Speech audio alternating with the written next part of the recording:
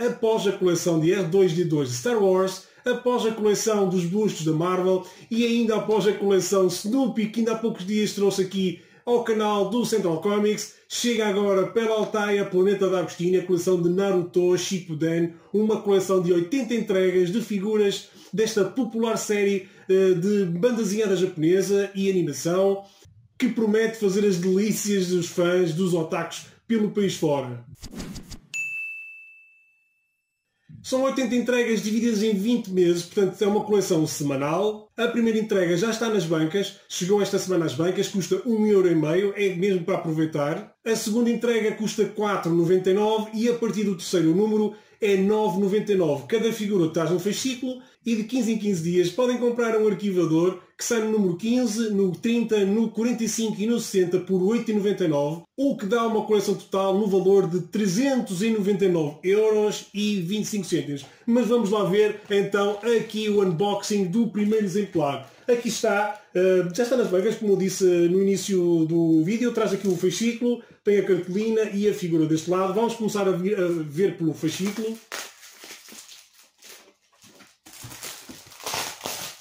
Vamos lá ver como é que isto é.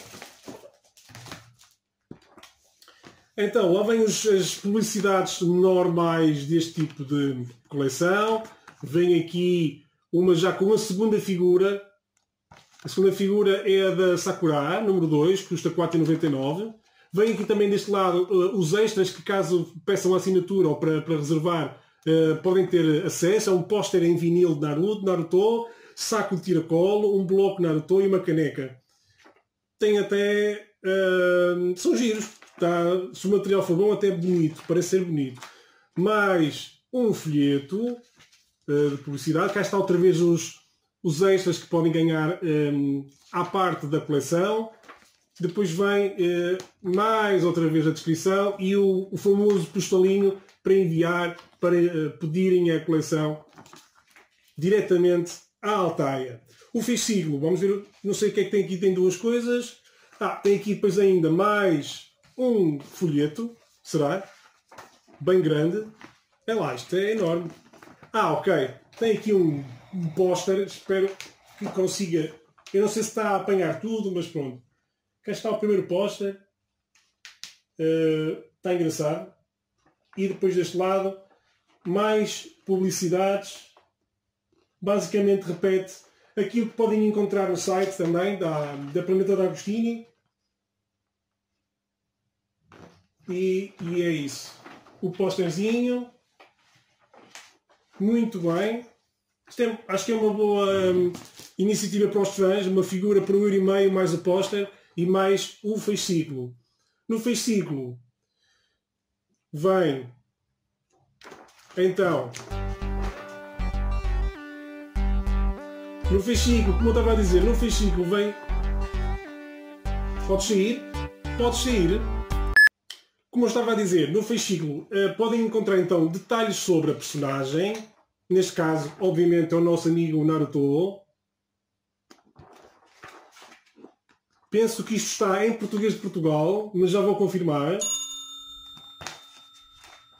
Um pósterzinho, mais um, podem destacar tirando os agrafos. Um pósterzinho. Mais uns detalhes aqui. Obviamente que tirando o póster estraga o que é mal feito, a meu ver, que devia ter partes brancas para se poder remover o póster uh, e não estragar o fascículo, mas infelizmente uh, está agregado assim e mais uns detalhes. Isto acho que as figuras, todas as figuras trazem um, um fascículozinho, lá está, os arquivadores deve ser então para guardar os fascículos, o que é bem interessante. E vamos então à figura. Vou abrir do plástico mesmo, para vocês verem.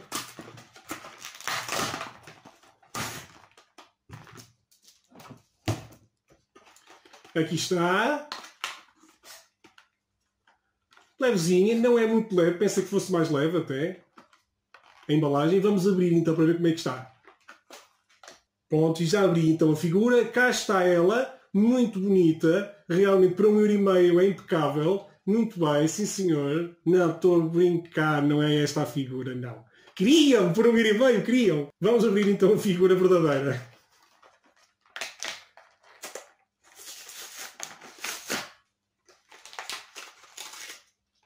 Aqui está a figura. Boa para pôr uh, nos bolinhos de aniversário.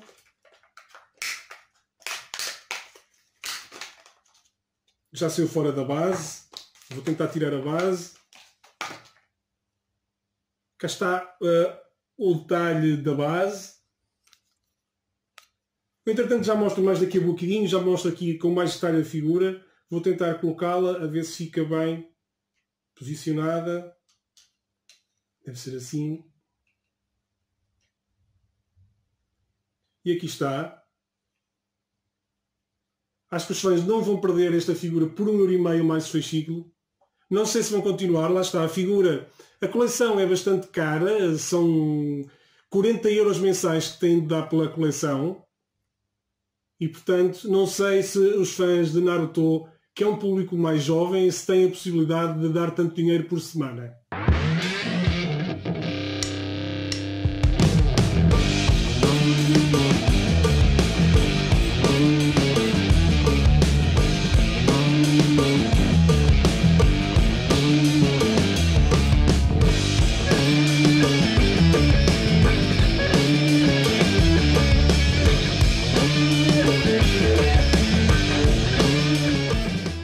Pronto, meus amigos, por hoje é tudo. Espero que tenham gostado deste unboxing e primeiras impressões sobre a coleção de Natushi Puden da Altaia Planeta da Agostini. Qualquer coisa é só dizer, mandem vir. Uh, já sabem que podem deixar, podem e devem deixar o comentário cá em baixo na, no YouTube com o vosso gosto. Façam questões uh, se quiserem, alguma coisa, alguma coisa que eu possa servir-vos, um cafezinho, um bolinho, também estejam à vontade.